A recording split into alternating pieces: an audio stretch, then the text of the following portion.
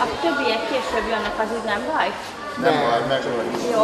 Rövid regisztráció után kapták meg az ebédre és az italra jogosító utalványt a szexádi strandra érkező nagycsaládosok. A városban évek óta hagyomány, hogy Ács Rezső polgármester egy hétvégén a legalább három gyermeket nevelő párokat vendégül látja. Minden évben jövünk, és nagyon örülünk neki, hogy ilyen lehetőségünk van.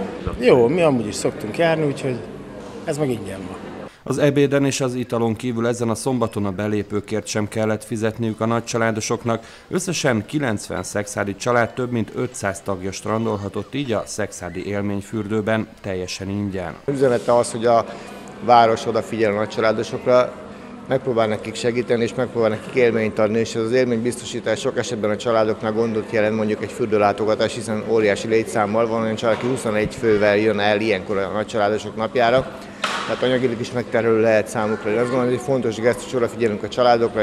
A tervek szerint a nagycsaládosok szombaton használhatták volna ingyen az élményfürdő szolgáltatásait, többen viszont jelezték, hogy csak vasárnap érnek rá, ezért ők a hét utolsó napján is ingyen strandolhattak.